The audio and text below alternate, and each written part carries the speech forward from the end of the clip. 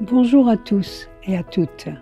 Je suis Chantal et je suis contente de revenir à Culture Lab le mardi 14 novembre à 20h où je vous lirai des nouvelles de Tar Benjeloun qui est un écrivain franco-marocain qui vit en France et qui a écrit ce livre en 2022.